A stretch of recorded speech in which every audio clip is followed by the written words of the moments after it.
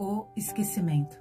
Conta a lenda que uma certa mulher pobre com uma criança no colo passou diante de uma caverna e escutou uma voz misteriosa que lá dentro dizia: Entre e apanhe tudo que desejar, mas não se esqueça do principal. Lembre-se, porém, de uma coisa: depois que você sair, a porta se fecha para sempre. Portanto, aproveite a oportunidade, mas não se esqueça do principal. Foi aí que então a mulher entrou desesperada na caverna e encontrou muitas riquezas. Ela ficou fascinada com o ouro, com as joias e tudo ela começou a colocar ansiosamente dentro da sua roupa, dentro do seu avental. E a voz misteriosa falou novamente: Você só tem oito minutos.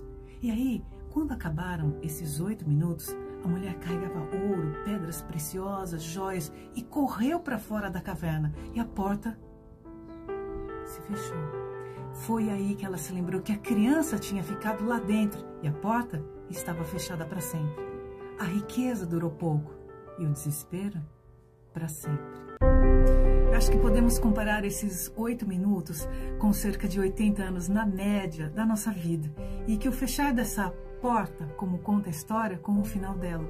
Então, é nesse interregno de tempo entre o nascimento e a morte que a gente não esqueça do principal, dos nossos valores espirituais, da nossa família e também do amor.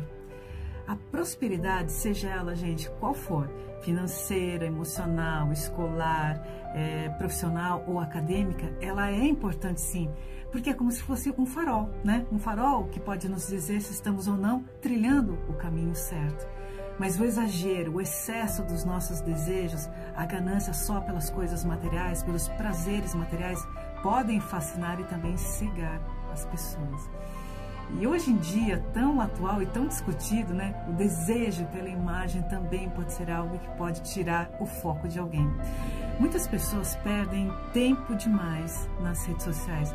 Ai, a internet é boa, é maravilhosa, mas se usada de forma adequada e consciente, pode ser ruim, pode ser bem ruim se a internet escravizar você. Quer ver só? Você não consegue mais ficar sem olhar o celular quando chegam as notificações. Tem que postar um carrossel de fotos e vídeos. A foto das comidas, a foto no espelho, uma indireta para alguém, o pós-treino, o foto no trabalho, das férias, do cabelo, da roupa nova. Enfim, gente, nada contra. Mas a sua vida não pode ou não deveria se resumir às postagens. A gente tem que sempre se perguntar quem sou eu sem as postagens.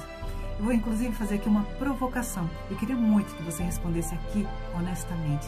Se desse uma pane mundial em todas as redes você ficasse um ano, um ano, hein, sem ter acesso a elas, como é que seria? Hein?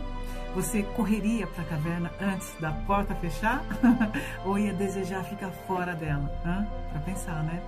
Então, que esses desejos é, não sejam capazes de nos cegar e que a gente sempre se lembre do que realmente importa, que a gente não se esqueça do principal.